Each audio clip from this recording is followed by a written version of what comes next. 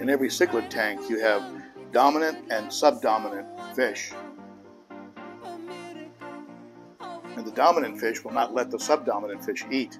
So you've got to be sure that you spread the food around. So in my case, I'll do some to every every every part of the tank gets a little bit of food, and that way everybody gets a shot.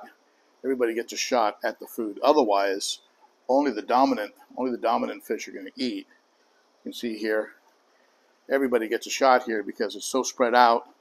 Nobody can hog can hog it.